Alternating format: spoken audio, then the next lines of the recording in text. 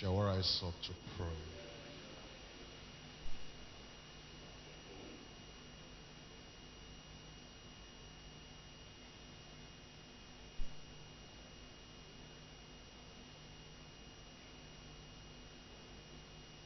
A great God in heaven, we thank you because you are a great Father. Lord Jesus, thank you because you are our Savior.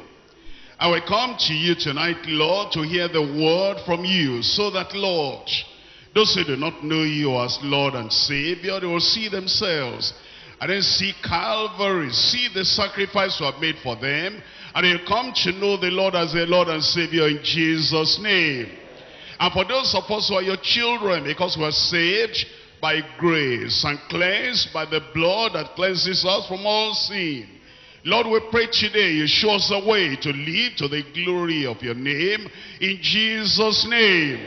Help us, Lord, as members of the body of Christ, members of every local church to live the way you want us to live so that your love, your compassion, your mercy will flow through us to all the congregation in Jesus' name. Once again, we're pleading that you open our eyes to see what we ought to see. And the things we knew before which we are forgetting, you remind us in Jesus' name. Grant us the grace to live by the word you teach us. Because we know it's not just the hearers of the word alone that are blessed, but the doers of the word. The mind to obey, the heart to obey, the desire to obey, and the grace to do what you're showing us in your word you grant every one of us. Thank you, Lord, because we know you have answered us. In Jesus' name we pray. And everybody said, Amen. Thank you very much. We come to our Bible study tonight with great expectation.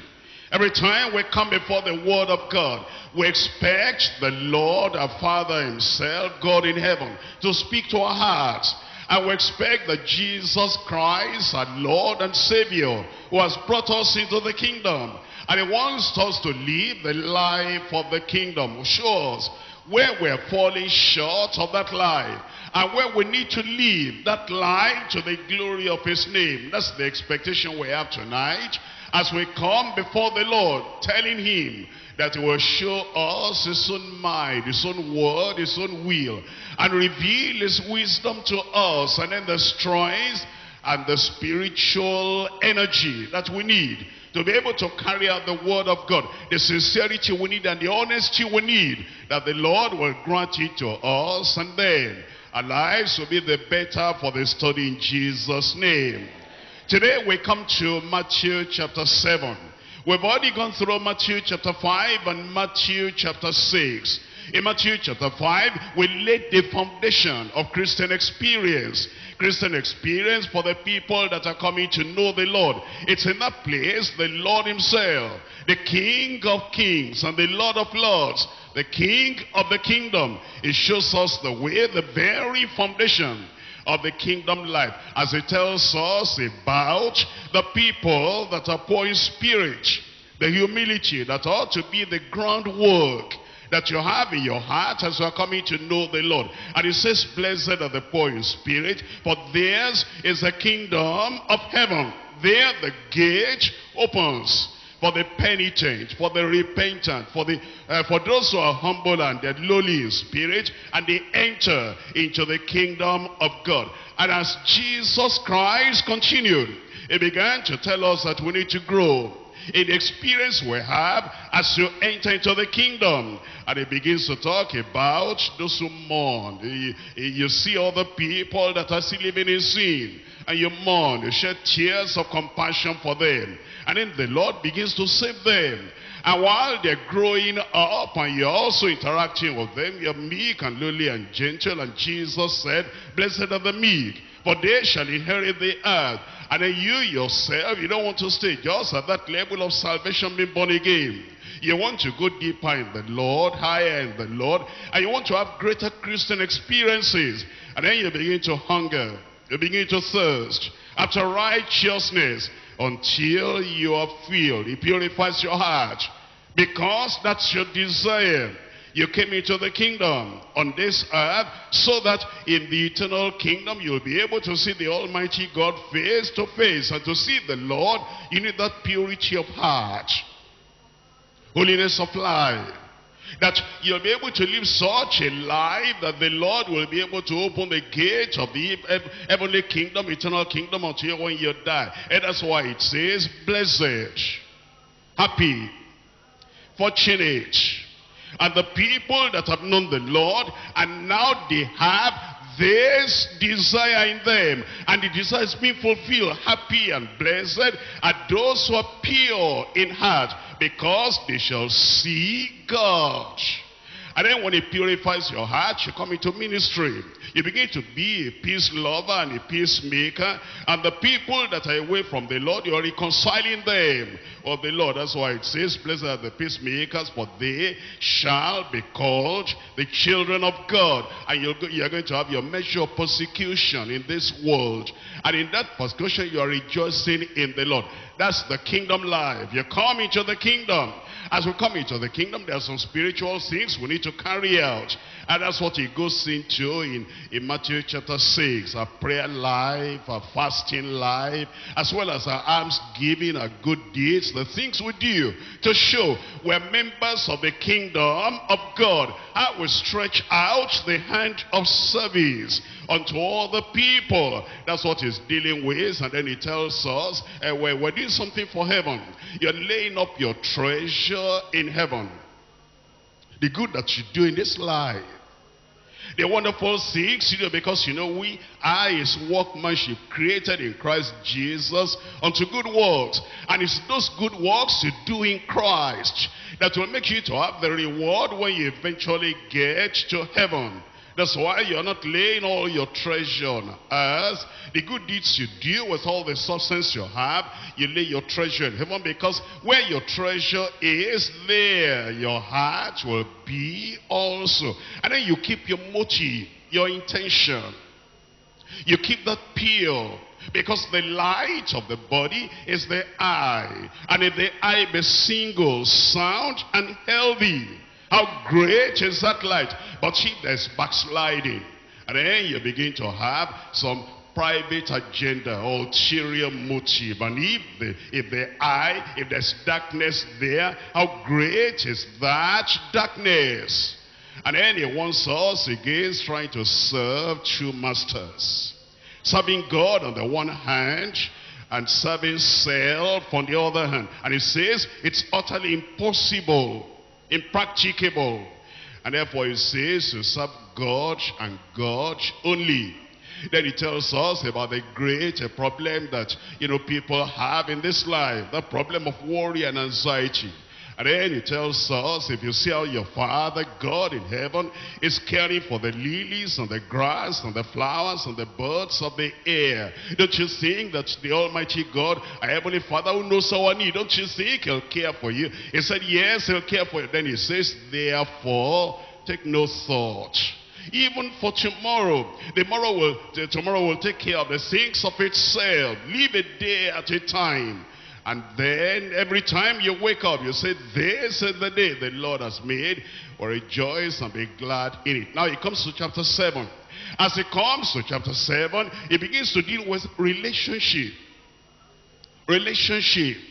You're not an isolated person. You're a member of a family, a child in a family, having parents, father and mother or a brother a sister in the family having brothers and sisters. Or maybe you are the father having children and wife. And then maybe you are the mother, you have a husband and you have children. And then you live in the community. And it wants us to carry the light that we have, the light of the gospel, and carry it into our community. That's why it begins to talk about our relationships. Now, as he talks about our relationship, eh, it is a major problem we have. Especially those who study the Bible, those who study the Word of God. You study the Bible, you already have a high standard. How you ought to live how we ought to live. And if we're not careful, everybody you see around us, you begin to measure them with the things have seen and the things have heard. See my daddy and see my mommy and look at what I study in uh, Matthew chapter 5. Mommy and daddy, they are not living up to that. What a great danger. Our knowledge of the word of God as we study chapter 5 and chapter 6, our knowledge is likely to make us critical, judging other people or maybe members of the family members of the community the knowledge we have instead of just improving ourselves and living a life that is glorious, a life that is gracious, a life that is growing in the things of the Lord, we begin to use our knowledge to measure other people, criticize other people, judge other people. That's why Jesus comes to this section now. And he tells us the reason we have knowledge is not to criticize, condemn, judge other people. It's for us to know that we need to live a life that is glorifying to the Lord so that other people will see the goodness of the Lord in our lives and then without any criticism, without any condemnation, they'll be able to live after the example we show them. That's what brings us to the study today. Caution against uncharitable judgment. Let's look at Matthew chapter 7 verse 1. Judge not, that ye be not judged. Here Jesus Christ gives a command to every believer, every member of the body of Christ. And he says, judge not that ye be not judged. He cautions every child of God on the common practice of judging and condemning one another. It is not acting on the principle of love. It is not acting on the basis of what we have learned in Matthew chapters 5 and 6. When anyone turns the family or the, or the Christian community to a law court and appoints himself as a judge, as a magistrate over all the actions of all the other people. The true child of God possesses a new heart. Is purified in his heart and is merciful and is a peace lover, a peacemaker. And is a real child of God, having the very nature of Christ in him. He has a new heart and a new spirit. A critical spirit that makes someone to criticize and condemn everyone around, everything around him is not the spirit of Christ. And that's why Jesus Christ over here, he wants to say, have you learned something from chapter 5? Apply to yourself. Judge not. Have you learned something in chapter 6? Apply it to your personal private life. Judge not. Love is of God and the perpetual state of mind that watches over others' faults while overlooking his own faults is contrary to fairness or kindness or love. Demanding very high standard of living from other people while he himself demonstrates low standard, uh, moral standard. That's unchristian, that's unscriptural. After removing the beam in our own eye, then we can only, only then can we help our brother remove the mote in his eye. Look at verse 2. For with what judgment ye judge, ye shall be judged. And with what measure ye meet, it shall be measured to you again. And why beholdest thou the mote that is in thy brother's eye? Or you making all your application of everything you learned in chapters 5 and 6, and then you apply it to the little, literally significant faults in the lives of the people around you. Why do you behold the mote in thy brother's eye, and considerest not the beam in thine own eye. What's your purpose of study? What's the purpose of learning the word of God? Is it just to look at this mirror of the word and then you see the beam in your own eye and then you don't do anything about it. All you're watching eh, you care more for the righteousness in the lives of other people than you care about the righteousness in your life. How will you say to your brother let me pull out the mote out of thine eye and behold the beam is in thy own eye thou hypocrite first cast out the beam out of thine eye and then it says, and there shalt thou see clearly to cast out the mote out of thy brother's eye. The Lord is saying there is reason for studying the word and the reason for learning the word is not to judge other people, is to see the fault in our lives, the sin in anybody's life, the shortcoming in anybody's life, and then deal with that. When you deal with that, then you'll be able to see clearly to help all the people. We're going to divide the study tonight to three points. Number one, explanation of unrighteous judgment. Judge not that she be not judged. What does, what does that mean? The explanation of unrighteous judgment. Number two, the examples of unlawful judgment. Examples, those examples, they open our eyes to see. And they help us to understand what Jesus Christ was actually teaching. Examples of unlawful judgment. Number three, exhortation to unbiased judgment. Let's come to number one. Number one, explanation of unrighteous judgment. Matthew chapter 7 verse 1. Judge not, that she be not judged. Judge not. That's Christ's command. But what's the meaning of that command? Because if we do not understand what Christ means by this, we shall not be able to properly obey. Therefore, you have to find out, what did he mean by that? I heard what he said. I know those words. I understand the implication of that. What's the depth of the meaning? How can I understand that? How do I apply that to my life, to my situation? Does it mean we must never see, we must never evaluate, we must never correct any wrong thing that others do?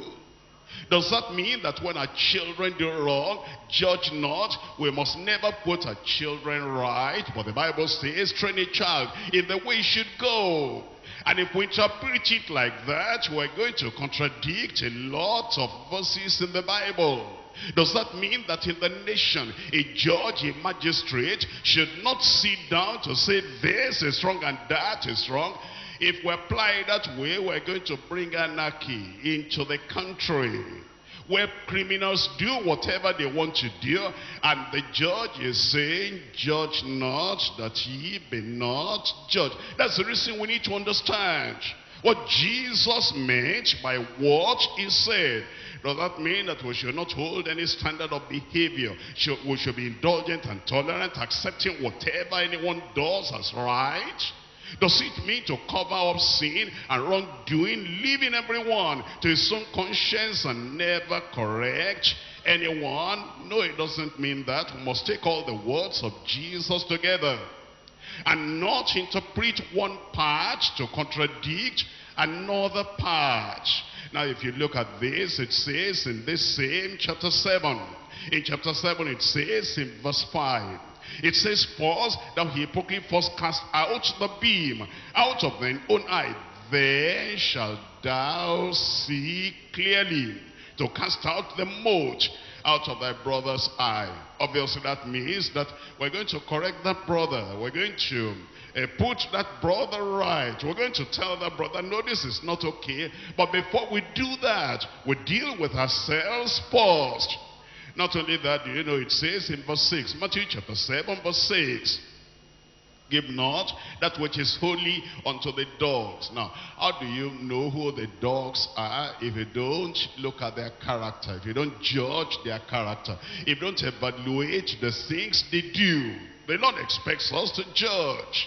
But it says, judge not. What does that mean? We'll explain that later, but we're just preparing the ground for you to know the Lord is not saying just close your eyes, you know, when you walk through life. Don't see anything that anybody does. Don't comment about anything that anybody does. And don't correct anybody. The Lord is not saying that.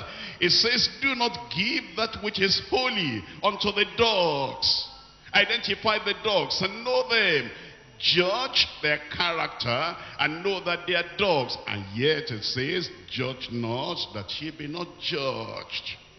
And then in Matthew chapter 7, we're looking at verse 15. Beware of false prophets which come to you in sheep's clothing, but inwardly they are ravening wolves.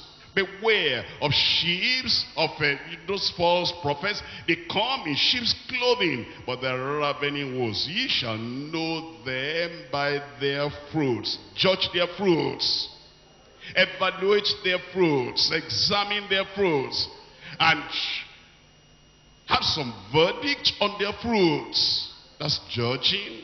That means then, this is not a unilateral thing that just says, judge not. Don't comment. Don't correct. It doesn't mean that.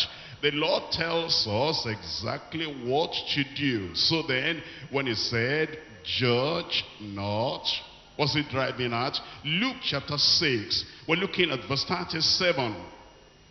Luke chapter 6. We're looking at verse 37. Judge not, that she be not judged. Condemn not, that ye be not condemned. Forgive, and you shall be forgiven. He's telling us, don't condemn. Yes, you can correct people. You can point the way to them. You can tell them, this isn't right. This is not all right for you.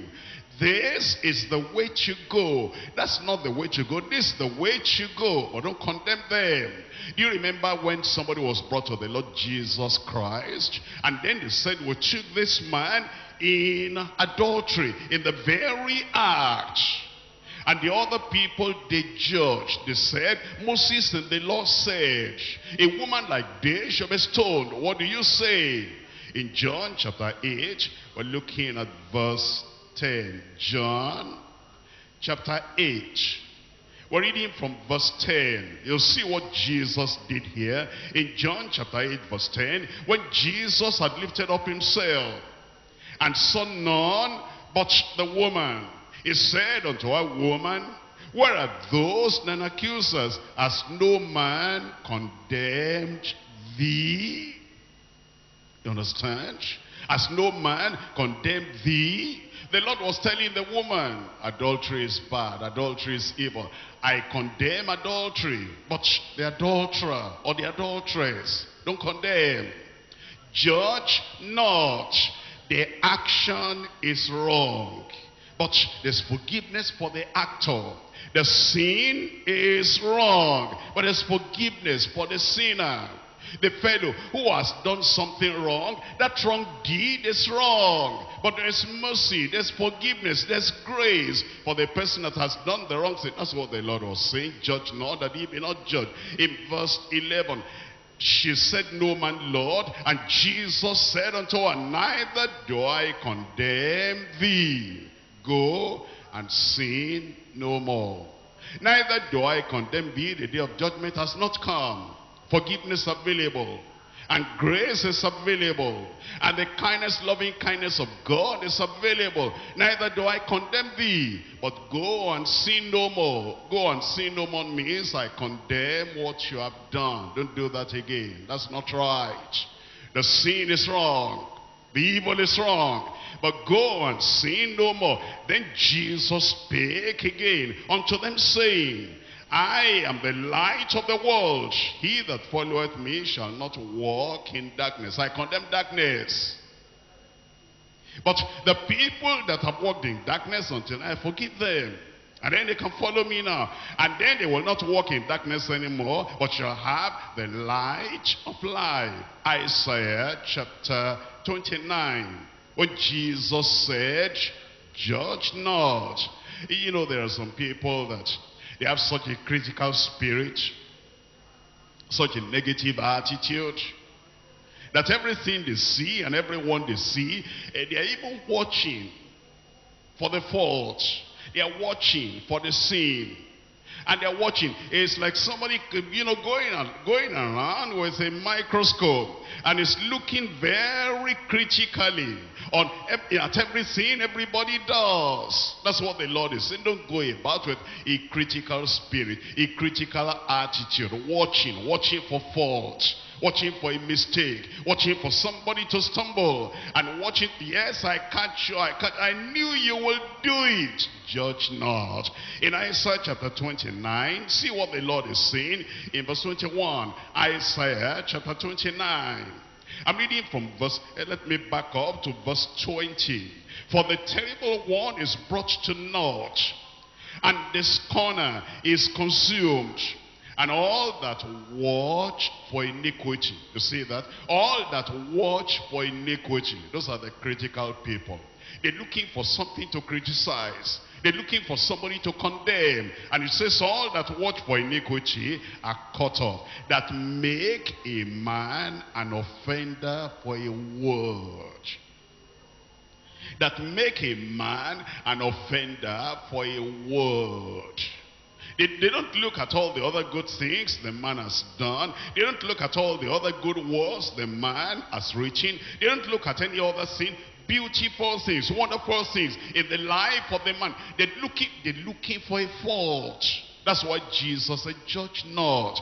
Are you going about with a critical attitude, a critical spirit, watching for mistake that make a man an offender for a word and lay a snare for him that reproveth in the gate and turn aside the just for a sin of naught. They condemn people for non-essential things that don't matter at all. Like the Pharisees. Why do your disciples eh, eat without washing their hands to the elbow? Things that are non-essential, insignificant. Why is it they are passing through the field on the Sabbath day and they are taking ears of corn and they are rubbing and eating?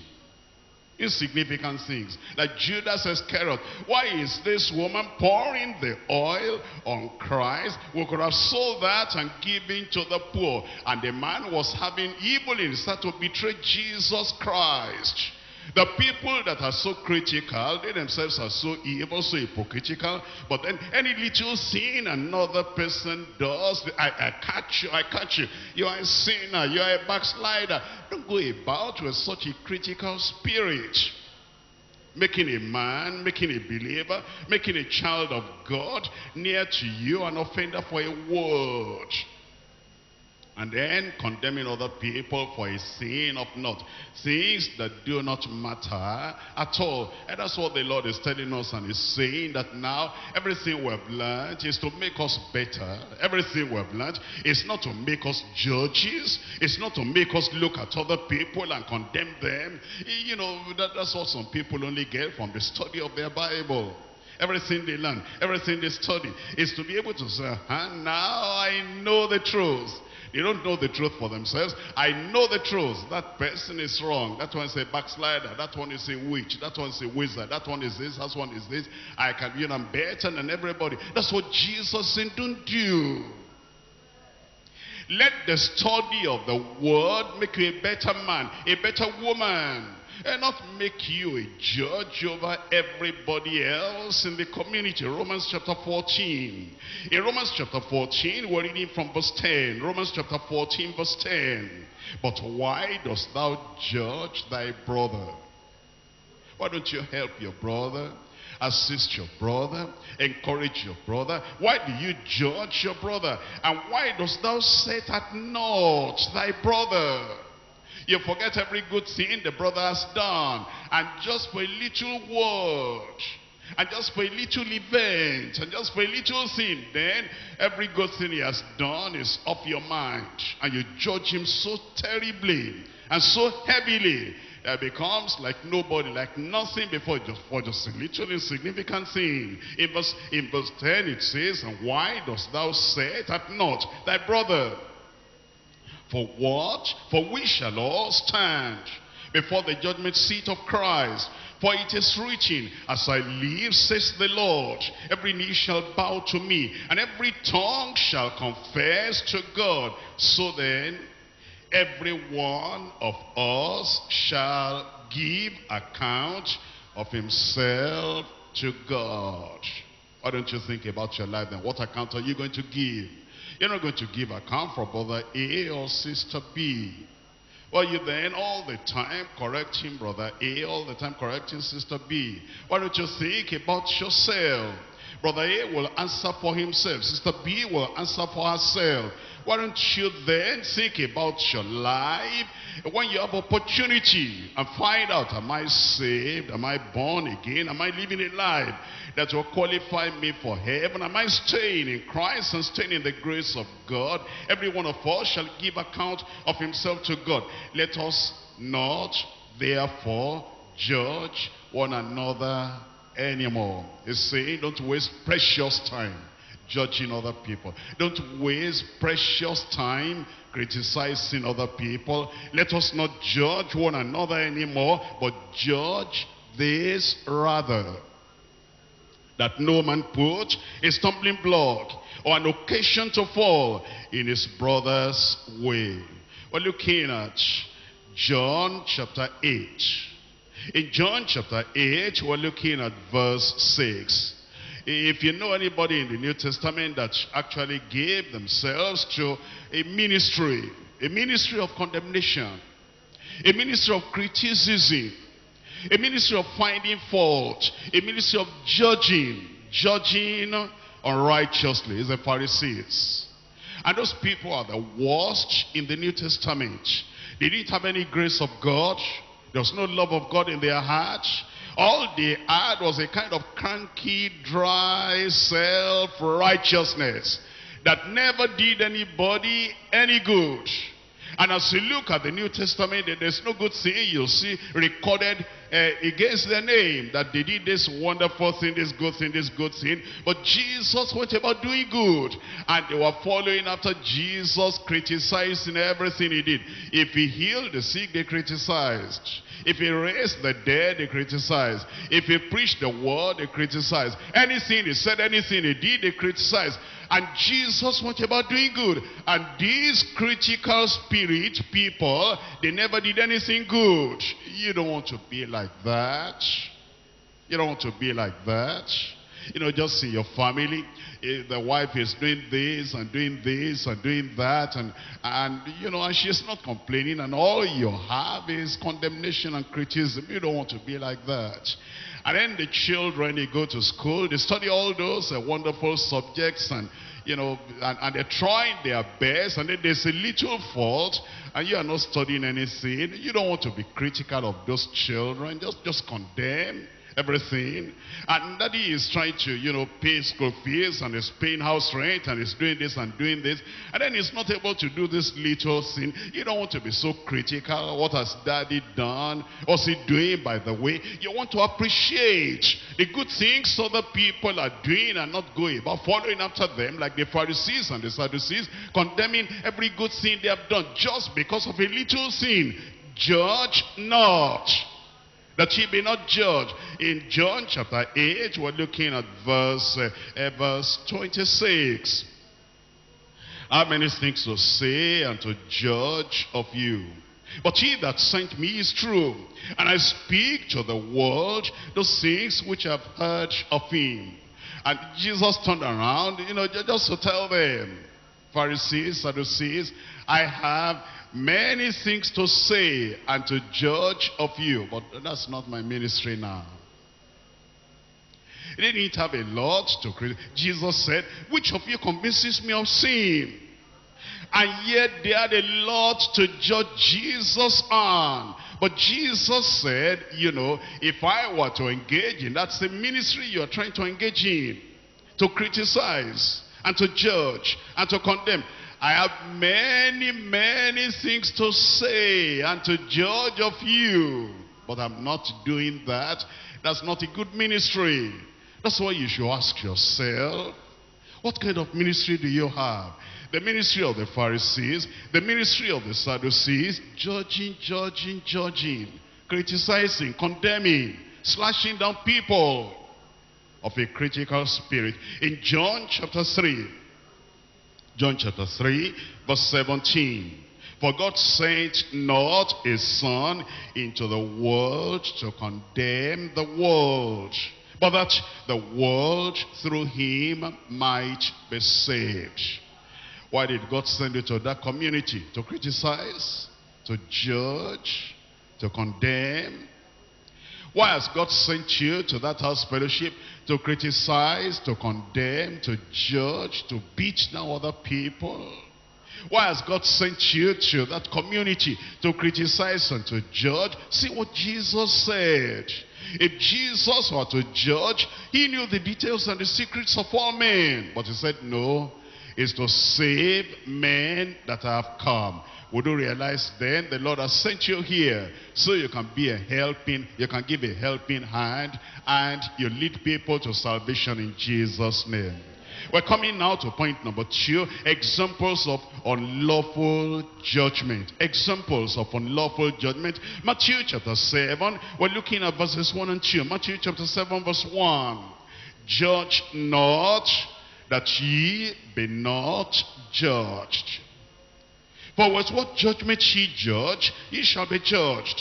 And with what measure ye meet, it shall be measured to you again.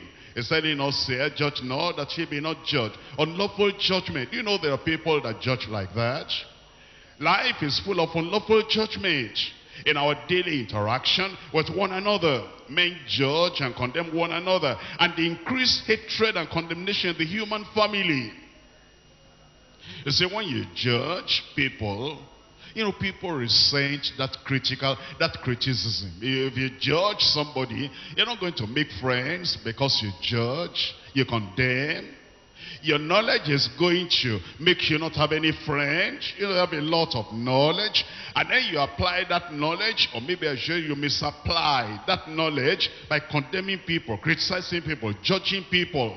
The more you know, the more you criticize people, you're not going to have friends.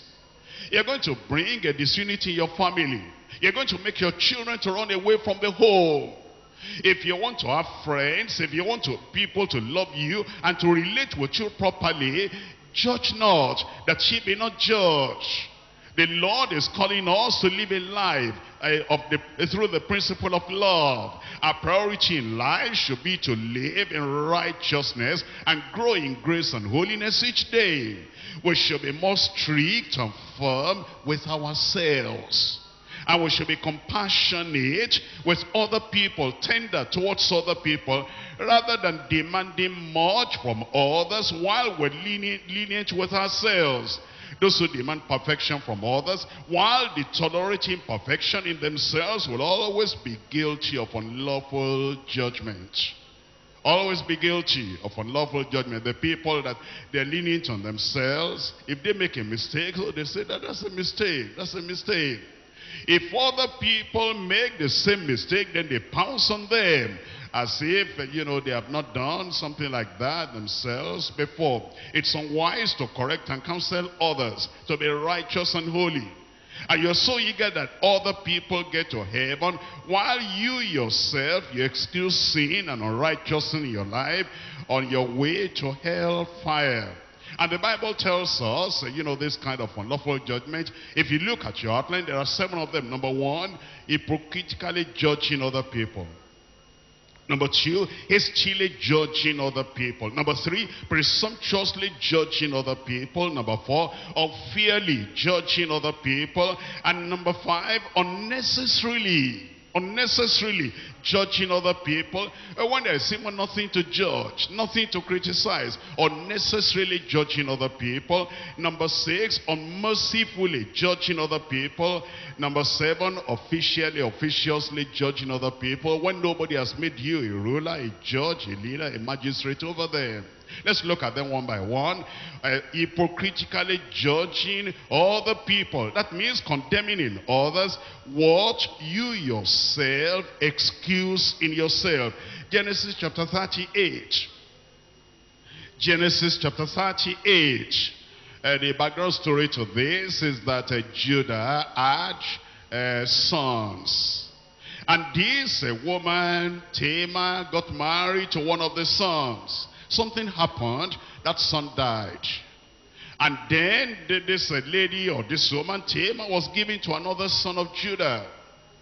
And uh, eventually that one also died. So Judah said, Tamar, go and stay in your father's house. When this one gets older, I'll call you and then you'll get married to him. But Judah was not faithful to the covenant. And the woman saw that Judah was not faithful. And so what the woman did was to put away the garment of widowhood and then stayed by the roadside. And the Judah saw she was a harlot, a prostitute. And then said, can I come into you? And the woman said, you must give me a pledge. And then gave the pledge. And then messed up with her. And then went away. And then the woman became pregnant. And he told Judah, they said, your daughter-in-law is pregnant. Oh, he said, bring her out. She's going to be burnt. And then the woman said, well, look at this signet and this thing. Who has it? And Judah recognized that he was the one. He was judging that woman for the same sin he himself committed. There are hypocrites like that. They are committing that sin privately. And then publicly, they are judging other people. Now that you know the story, look at that, uh, Genesis chapter 38. I'm reading from verse 30, 24. And it came to pass about three months after that it was told Judah saying, Tamar thy daughter-in-law has played the harlot. And also, behold, she is with child by water. And Judah said, bring her forth and let her be burnt. When she brought, when she was brought forth, she said to her father-in-law, saying, By the man whose these are, am I with child? And she said, Discern, look at this, and, and then find out. I pray thee, whose are these? The signet and the bracelets and the staff. And Judah acknowledged them and said, She has been more righteous than I. I was condemning her for the sin I was guilty of myself. Examine your life. Are you like that? Especially in the family circle. What you condemn in your wife. What you condemn in your husband. What you condemn in your children. What you condemn in your neighbors. What you condemn in the leadership in the church. What you complain about in members of the church. Are you guilty of those sins yourself? The Lord Jesus cautions us against that kind of hypocritically judging others, condemning in others, what we ourselves are excusing ourselves. Number two, he warns us of hastily judging others, condemning others before the facts of the case are known. Not even bothering to find out what are the facts of the case? And then we judge. John chapter 7 verse 51. John chapter 7 verse 51. He's still judging other people. Why are you not patient? Look at the facts. Find out the details. The reasons why. The motives, the intention behind the action. Before you pass comment. Before you're correct. John chapter 7 verse 51. Here, Nicodemus was asking the people, Does our Lord judge any man before it hear him and know what he does? A report has come. Brother so-and-so, sister so-and-so has done this and that. Give sister so-and-so opportunity to defend herself. Give us chance to put all the records straight. And then to say, no, it's not like that. It's like this. These are the facts. Find out the facts before you pass comment. Does our Lord judge any man before it hear him and know what he does? Number three, presumptuously judging others. The words of the Lord Jesus Christ rebuke us for presumptuously judging others, jumping to unchari uncharitable conclusion on the basis of unconfirmed rumors. Unconfirmed rumors. Rumors are flying about. And as a result of the rumors flying about, you're only passing comment. Wait a minute. Have you confirmed that rumor? Have you found out the details? Are you very sure beyond the shadow of doubt that the rumor is right, is true? Can you prove it to us before you pass judgment? You see, that is, uh, that's some fear. Presumptuously judging others and jumping to an uncharitable conclusion before you find out that the rumor is confirmed. Jeremiah chapter 37. In Jeremiah chapter 37, here we're reading from verse 12. Jeremiah 27 verse 12. Then Jeremiah went forth out of Jerusalem to go into the land of Benjamin to separate himself thence in the midst of the people. And when he was in the gate of Benjamin, a captain of the ward was there, whose name was Irijah, and the son of Shelemiah, the son of Ananiah. And he took Jeremiah the prophet, saying, Thou fallest away to the Chaldeans. He said, You have joined the Chaldeans. And now you are in the army of the Chaldeans. Now you have gone to Babylon. And I hear, we hear the rumors. You are not part of them. You are not a true Israelite anymore. Then said Jeremiah, it is false. It's not right. How could you believe that? How could I go and join the Babylonians and the Chaldeans and still be a prophet of the Lord and the Lord will be speaking through me? I fall not away to the Chaldeans, but he hearkened not to him. So Irijah took Jeremiah and brought him to the princes, where, wherefore the princes were wroth with Jeremiah, and they smote him for nothing. He had done nothing wrong. And they smote him. Can you think of that? Can you think of, you know, Christian people punishing somebody because of rumors that are not true and presumptuously judging others. That's what Jesus said. Judge not. You are basing your criticism and your judgment on rumors. And you have not confirmed that. Wherefore the princes were wroth with Jeremiah, and they smote him, and they put him in prison in the house of Jonathan the scribe, for he had made, for they had made that the prison. Number four, the Lord is telling us not to judge people unfairly. He forbids unfair, unfairly judging others, ignoring everything that is favorable to our brother, and not giving him a fair hearing. That he is just making up their minds that no, he's wrong. We know he's wrong. How do you know he's wrong? Have you looked at all the points and put all the points together and then see which ones are right and which ones are wrong? No, we don't need to do that. We know it's wrong. In John chapter 9, that's exactly the Pharisee style. That's how they do things. They actually wanted to judge and condemn. They were looking for a loophole. They were looking for something that they can hold on to so as to be able to judge. John chapter 9, verse 24. Then again called they the man that was blind. And they said unto him, Give God the praise. We know that this man is a sinner. We were talking about Jesus. Christ. They said, Hey, don't worry about this. You have been blind. We can see. We know. We know beyond any shadow of doubt that this man is a sinner. He answered and said, whether it's a sinner or no, I know not. One thing I know, that whereas I was blind, now I see. Then said they to him again, what did he to thee? How opened he thine eyes? He answered them, I have told you already, and ye did not hear. Wherefore would ye hear it again? Will ye also be his disciples? Then they reviled, they, they reviled him and said, Thou art his disciple. But we are Moses' disciples. We know that God spake unto Moses. Wait a minute. You've never seen Moses. Moses died more than a thousand years ago. All you are thinking about Moses is what you read in Exodus, uh, Leviticus, uh, Numbers, and Deuteronomy. Moses is dead. This one, this is Christ. You can see this one. And you know that this man works many miracles. What are we going to do? The whole world is going after him. You know this one. This one is not history. This one is a fact. And the Moses they didn't know that died a thousand years before, more than a thousand years before, they said, as for Moses, we know.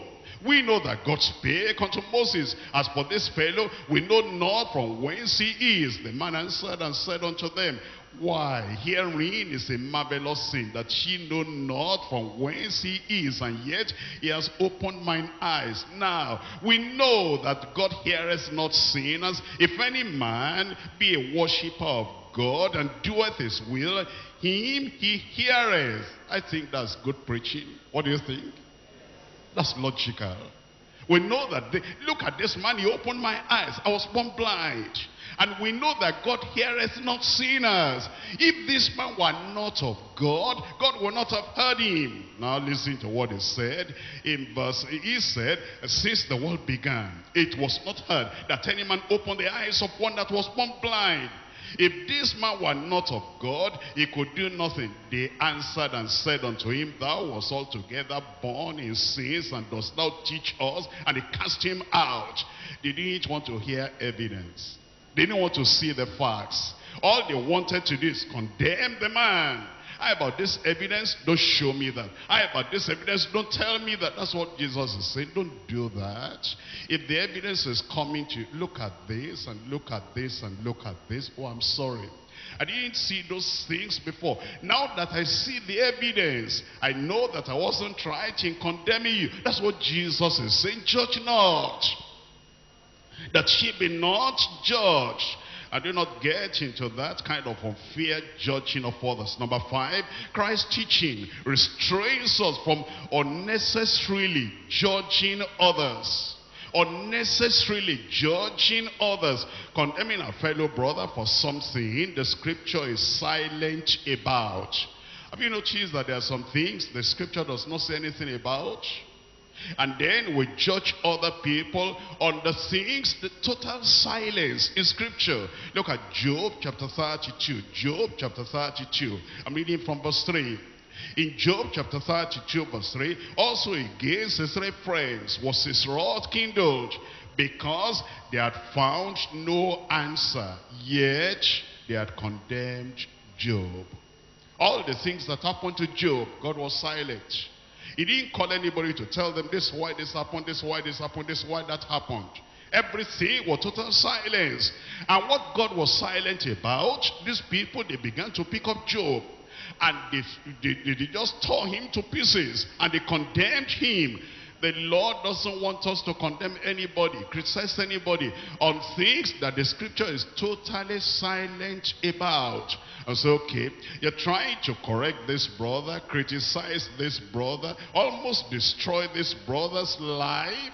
And uh, what has he done? This is what he has done. Can you show me a chapter, a verse in the Bible where that sin is condemned? You have no verse. You have no scripture. All I just know is that I'm going to condemn him. I'm going to criticize him. Don't condemn people, criticize people, correct people on what the scripture is silent about. Number six, it teaches us against unmerciful judge, unmercifully judging other people, instructing us that those who have received mercy must also show mercy and refrain from judging. In 2 Samuel, I'm reading from chapter 12. 2 Samuel chapter 12. And we're reading there from verse 1. 2 Samuel chapter 12 verse 1. And the Lord said, say, uh, Nathan unto David. And he came unto him and said unto him, There were two men in one city. Listen to this story very well. The one rich and the other poor. And the rich man had, had exceeding many flocks and herds.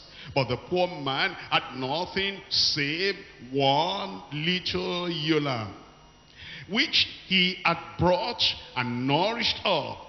And it grew up together with him and with his children. He did eat of his own meat and drank of his own cup and lay in his bosom and was unto him as a daughter.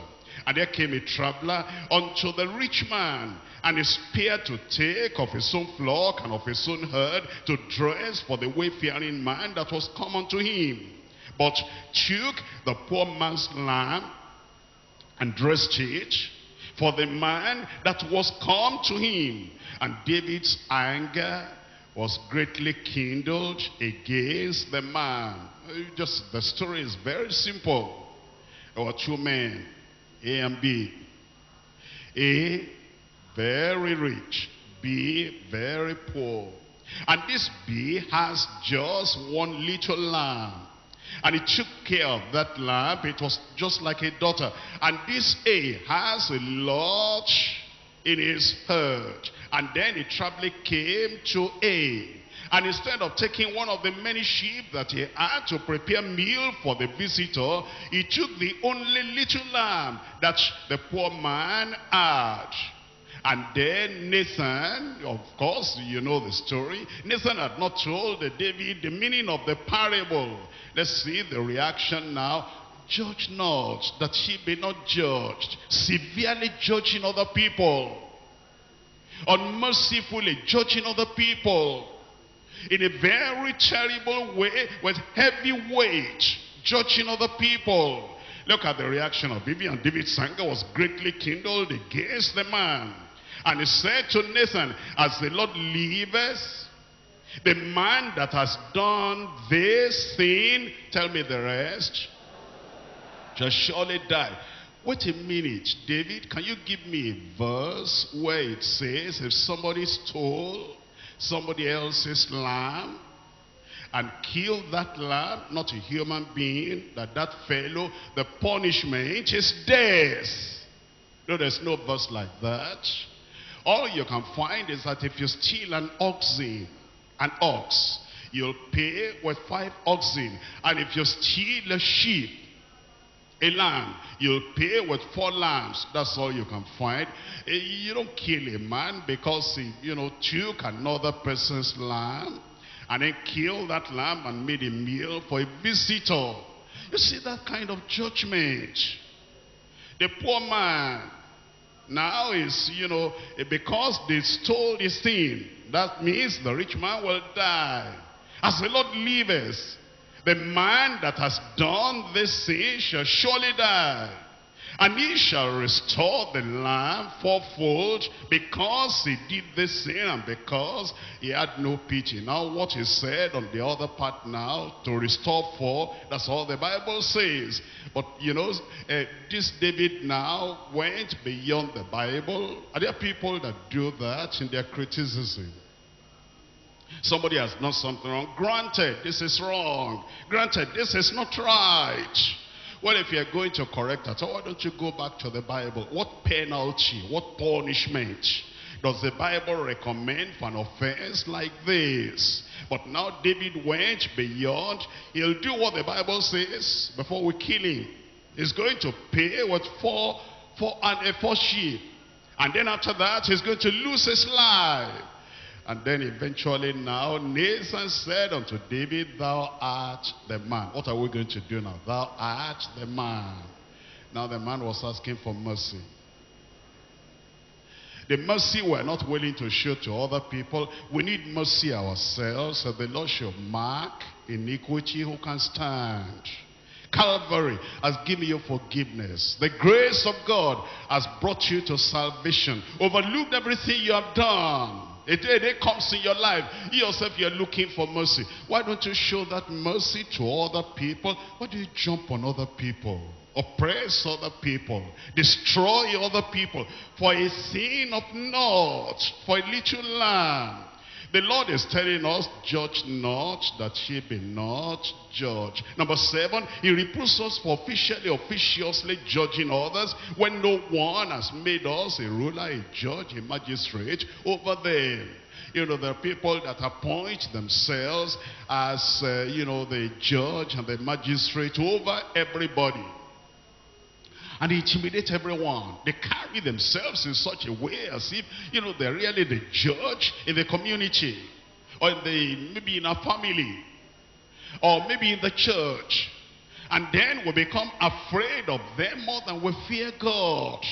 And the way they go around, you know, they make themselves, why did you do this? Why did you do this? Why did you do this? And find out the man is not even a worker in the church. The man is not even a leader in the church. Nobody has appointed them. And yet they carry this office all about and everybody is afraid of them. And the Lord is saying, judge not, that she be not judged. Don't carry an office that nobody has given you. Romans chapter 14. In Romans chapter 14, we're reading there about, uh, you know, such a man. And the Lord is telling us that is what not to do. In Romans chapter 14 verse 4, Who art thou that judgest another man's servants? Wait a minute, we're children of God. We're responsible to God. Wait a minute, Jesus is our Lord and Master. Is our Savior. Who are you? you? Even you want to have more control over us than Jesus is even having over us. Jesus gives us some liberty, some freedom. He wants us to be happy. Not to commit sin, but to live a righteous life. And then you officiously, officially, you're going about as if, you know, if we're happy, that brings a problem to you. You don't want to see us smile or laugh or be happy or enjoy a Christian life. Who are you, by the way, that judges another man's servant? To his own master he standeth or falleth. Yea, he shall be holding up, for God is able to make him stand.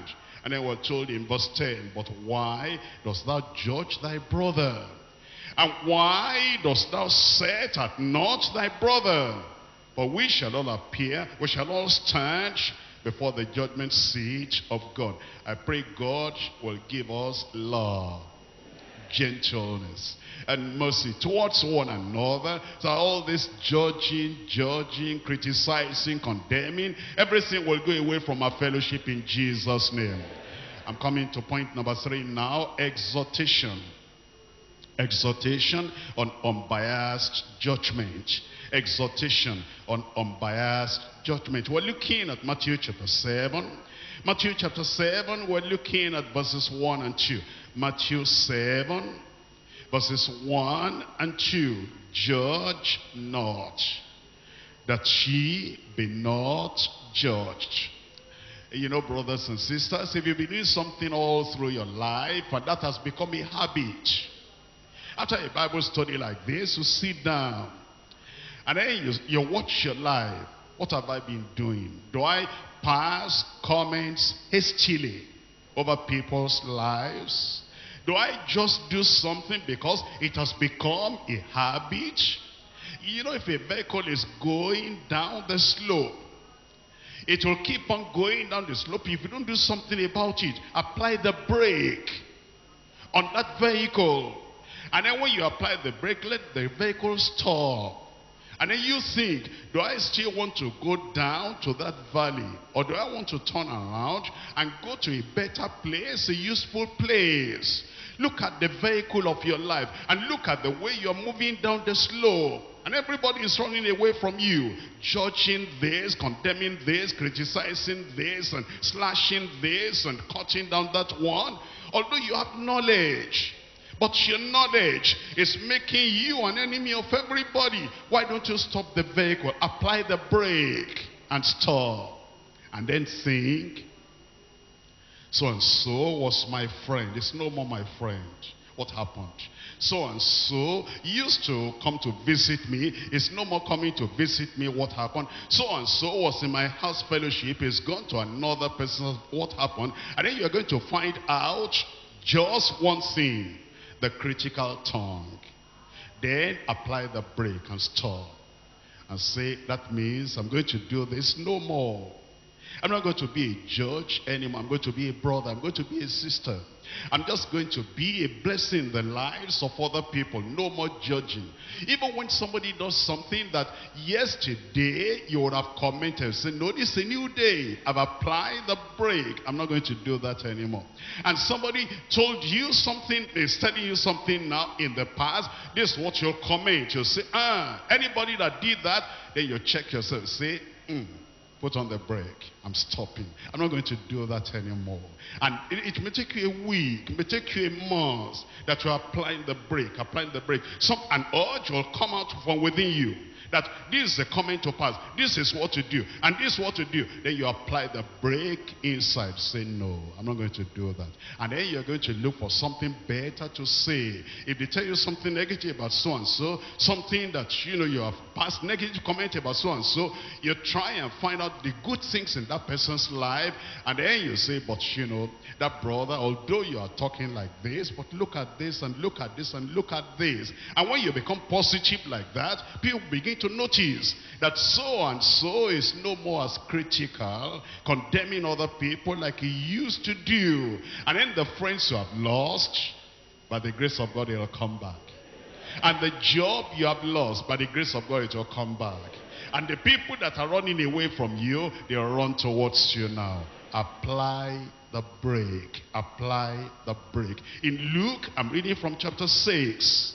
Luke chapter 6. And we're reading from verse 37. Judge not, and ye shall not be judged. Eh, have you noticed that when you criticize, you attract criticism to yourself too? If you're very critical, if you're very negative, now it's going to be like a, what you sow is what you reap. As you throw stones at other people, you throw it with one hand. Ten hands are throwing stones at you. That's the reason why judge not, that she be not judged. Condemn not, and ye shall not be condemned. Forgive, and ye shall be forgiven. The Lord will help us. You know, if you do this, it's going to be a wonderful life from now on. In John chapter 5, verse 30. I can of my own self do nothing. As I hear, I judge. As I hear, I judge. I can of my own self do nothing. It's only when I hear from God, I hear from heaven. As I hear, I judge. Somebody comes to tell you something. You've heard from him. But wait until you hear from heaven. You hear from God. God, are you saying anything to this? God says, no, I'm not saying anything. This is not important. This is insignificant. This is non-essential. I've not heard anything from heaven. I'm not going to say anything. And practice that. Practice that. Let the Spirit of God speak to you before you speak to other people. Rather than, you know, you observe this and you notice this and you notice, then you jump up. Have you heard anything from God? Have you heard anything from Christ who sits on the throne? As I hear, I judge. Until you hear what he's saying. Then don't pass any comment. And he says, and my judgment is just because I seek not my own will. Don't seek your own will. I want this done. I want this. I want nothing. Don't you want anything? Don't want anything. This must be done my way. Why? Why must it be done that way? Just say, the will of God be done. And if it's the will of God that's to be done, you'll not be judging this and judging that. And then it says, but the will of the Father which has sent me. And then in chapter 7 of John chapter 7 verse 24. John 7 verse 24. It says when the uh, John 7 24. In John 7 verse 24, here is what it says. Judge not according to appearance. Judge not according to appearance. And you see sometimes something appears this way. As a wait, and you are patient and you look at that thing properly then you see that what it first appeared to be is not what it's, it is really therefore you are not in a hurry you see if i'm going to pass any comment i want to be a wise man a wise woman I'm not going to just say the way it appears to me at the first time. That's how to judge properly. It says, judge not according to appearance, but judge righteous judgment. You know, sometimes it takes a day or two, or even more, while you're thinking of that thing. Should it be like that? Is it actually like that? What did that person mean by what he said? And what was his intention and motive by what he did? And it's when you think through like that, you're not doing this what it appears to be. You don't want to judge on that. Judge not according to appearance. It appears like this for the moment. It appears like this for the moment. Don't, don't judge then, but then judge righteous judgment. After thinking through, after seeing all the details, and after you've now, you now know a day or two after that, okay, this is how it is. Then you cannot put on the right correction. The Lord will help us. And it's when we do it like this, we'll be able to have mercy and gentleness and compassion on other people. Galatians chapter 6. In Galatians chapter 6, brethren, if any man, if a man be overtaken in a fault, Let's even say now, after we have thought through, this is not just the first appearance, we have thought through, we've seen the details, and now we know that the man is at fault, and we want to correct him. What are we going to do? Brethren, if a man be overtaken in a fault, ye which are spiritual, I'm sure we're spiritual. I said we're spiritual. Restore such an one in a spirit of meekness. Don't bully on people. Don't shout on people. Don't be too aggressive. And slow down your movement. And if people see you as an aggressive man, aggressive woman, because of the way you carry yourself, and when you hear something, the first time you hear it, the way it pumps up in your heart, your steps, your movements, your language, everything, and they, they don't see the meekness. Why don't you slow down and then get some meekness, some gentleness and love. Restore such an one in a spirit of meekness, considering thyself. Considering thyself. What does that mean? Considering thyself. If I were in a situation, could I have done better? If I didn't have the knowledge I have now and I have just the limit of the knowledge he has, would I have done better? If I'm going through family problem, family pressure like he is going through, and then he's acting because of you know the family pressure on him, if I were in the same situation, wouldn't I have done the same thing if I lost my job and then it appears only my wife is working and then I'm feeling ashamed that my wife is then working and feeding me and then would I not be as irritated as that man is considering thyself? That is, put yourself in the shoes of the other person. And what, yes, what they did might even be wrong. But ask yourself, why did they do what they did? Is it the way they felt? Is it their ignorance? Is it their lack of understanding? Is it their immaturity? Put yourself in their shoes. Considering thyself, lest thou also be tempted. Bear ye one another's burden. Don't add to the burdens of my brother, of my sister there. Bear the burdens of them and so fulfill the law of Christ. We will do it. I said we will do it. Matthew chapter 7, verse 1, verse 2. The Lord is teaching us and is saying, our life should be different from now. We've learned so much, we know so much. Judge not that ye be not judged. For with what measure ye, what judgment ye judge, ye shall be judged. And with what measure ye meet, it shall be measured to you again. Let's rise up and tell the Lord to give us grace, to be more gentle, to be more loving, to be more compassionate, to be more considerate, to be more thoughtful, and to be slower in passing comment to be slower in jumping on people. You know, people have feelings. And people can, you know, uh, feel the pressure. Let's lift the burden from them. And be gentle towards people. Be nice towards people. Help them to feel that life is worth living. Don't increase the pressure. Don't increase the problem. Say, Lord, I'm going to apply the brake. I'm going to be very slow in passing comments on people. I'm going to be very slow criticizing other people. In fact, there will be no criticism anymore. I'm going to be very constructive in my life. I want to help people. I want to help people. I don't want people running away from me. I don't want people, you know, saying that man is hard, that woman is tall.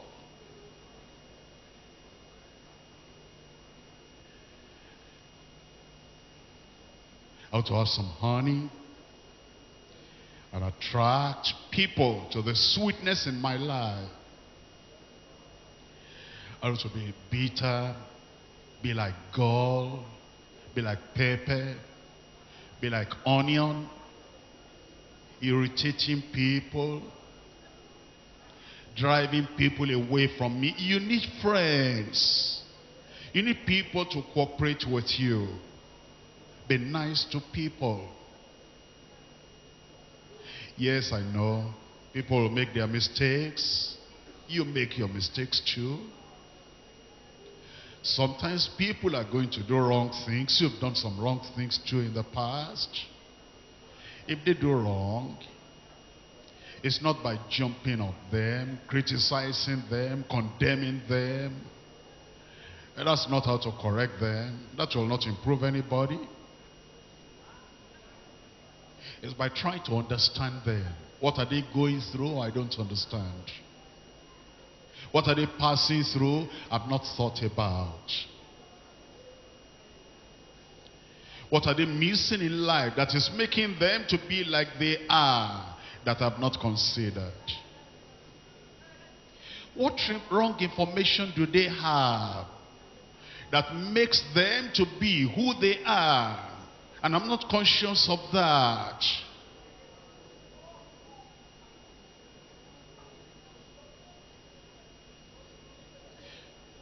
What's their upbringing?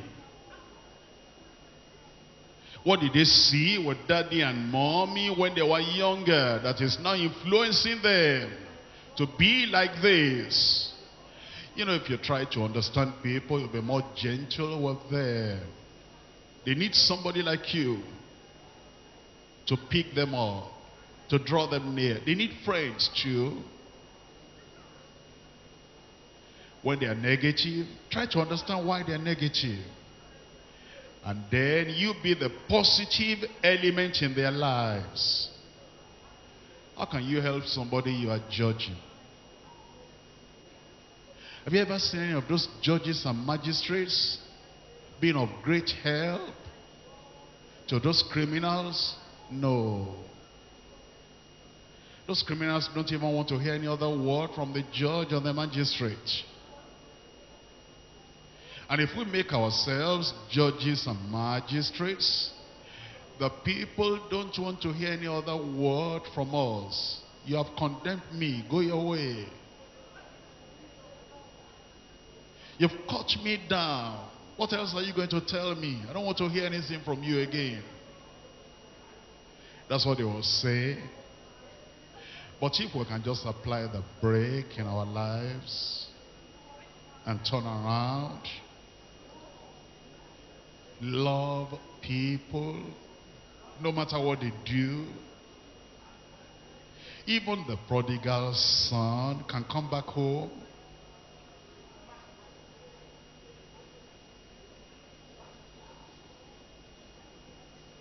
Whatever they do,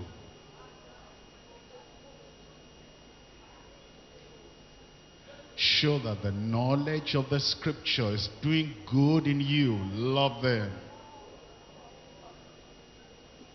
your tone of voice, your appearance, your courage, your comportment.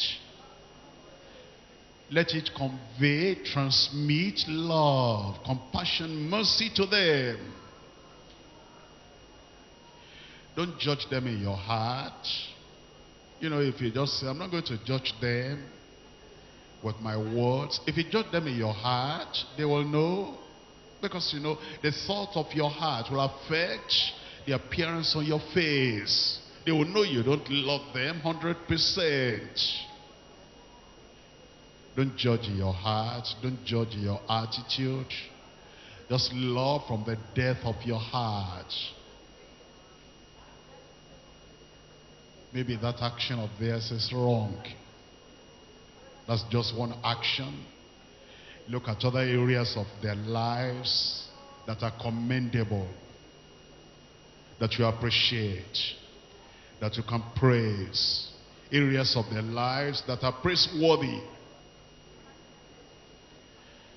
Then there will be sincere love, mercy, and compassion in your heart towards them.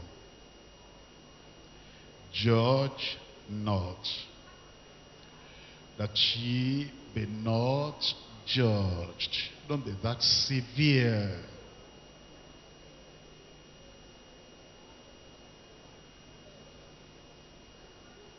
It applies to everybody, fathers in the home, husbands in the family, wives in the family, mothers to the children. Radiate love. children to the parents. You know, children, parents need love too. They need appreciation too. Don't judge those parents. You don't know the pressures they are going through, why they do what they do, why they say what they say.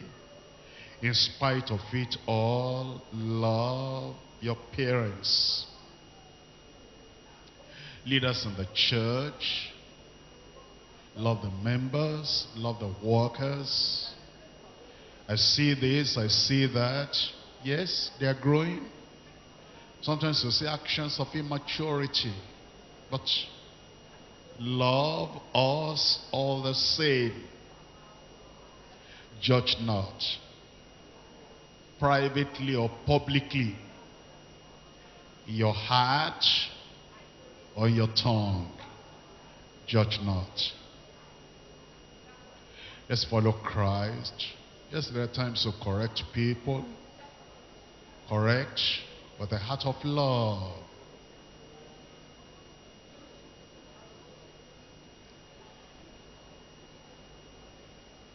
Let your knowledge be put to positive, advantageous use.